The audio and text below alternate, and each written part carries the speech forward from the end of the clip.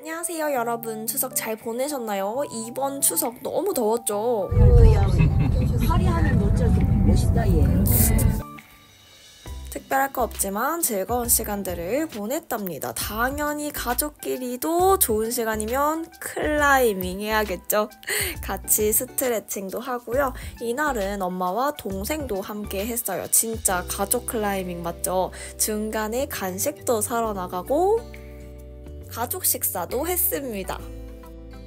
클라이밍장에서는 간단하게 이렇게 샌드위치나 샐러드, 커피 같은 것들을 먹을 수가 있어요.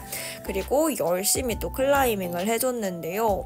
아무래도 주 3회씩 오랜 시간 자주자주 클라이밍을 하다 보니까 이게 손목에 데미지가 누적이 된 것 같더라고요. 그래서 손목 관리 한번 빡세게 해주는 김에 제가 하고 있는 손목 관리 좀 소개해 드리려고 해요. 첫 번째, 손 마사지 기계입니다. 이거는 제가 아침에 일어나면 매일매일 꼭 해주는 건데요. 한쪽에 15분씩 해주고 있고요. 그럼 총 30분이니 지루할 수도 있겠다 싶으시잖아요. 그래서 저는 항상 이때 어, 온라인으로 강의 듣는 것들을 해주고 있어요. 그리고 두 번째는 기계 없이도 할 수 있는 셀프 손 마사지입니다. 관절 마디마디마다 꾹꾹 눌러주고요. 이어지는 전완 부분까지 마사지를 해줘요. 세 번째는 아이싱이에요. 운동 끝나고 오면 이건 보통 그날 바로 해주는데요. 염증 반응이 있을 수도 있고 무리를 했으니까 항상 이렇게 얼음을 얼려두었다가 손목 부분, 손가락 부분을 아이싱을 해줍니다. 그래서 염증을 최대한 줄여주고 회복하기 위한 과정이에요. 여러분도 운동 끝나면 꼭 그날을 해주시길 추천드려요. 네 번째는 파스. 아, 종류별로 다 갖고 있거든요.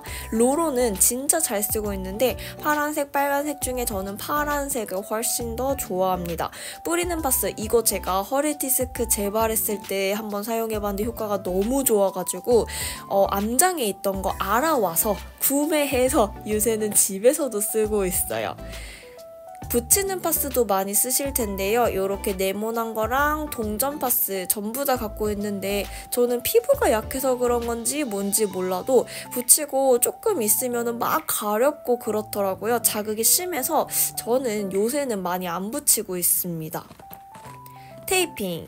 요거는 이제 통증이 좀 심하거나 내가 움직임을 최소화시켜야겠다 할 때 항상 해주고 있는 거예요. 요렇게 탄성이 굉장히 좋은 재질로 하고 있고요. 또 거의 부목돼주는 것처럼 움직임을 안 해야지 할 때는 손목 보호대까지 하루 종일 해주고 있습니다. 지금은 조금 상태가 안 좋아서 테이핑, 손목 보호대, 소염 진통제까지 먹어주고 있거든요. 이렇게 조금 3, 4일 빡세게 관리해주면 금방 나아요.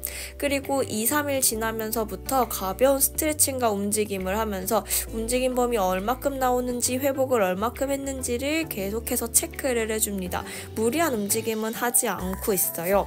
그리고 이건 평상시에 할 수 있는 거 만성 통증이 있으신 분들은 꼭 강화 운동을 평상시에 해주셔야 돼요. 그래서 이 방법들 평상시에 할 수 있는 거 통증 있을 때 할 수 있는 거 참고해 보시면 좋을 것 같습니다. 좋아요와 구독, 댓글 부탁드려요. 감사합니다.